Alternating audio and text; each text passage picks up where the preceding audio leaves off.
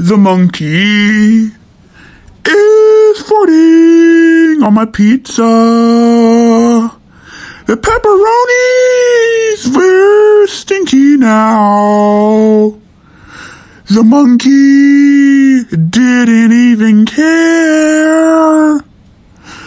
So I smacked his butt so he wouldn't fart on my pizza or sandwich or my food again.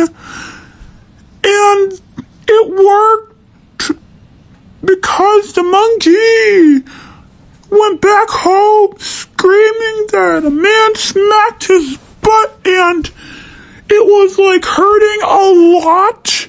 So the monkey farted on my pizza and I had to throw it away because it smelled like a old fish ate my gumballs.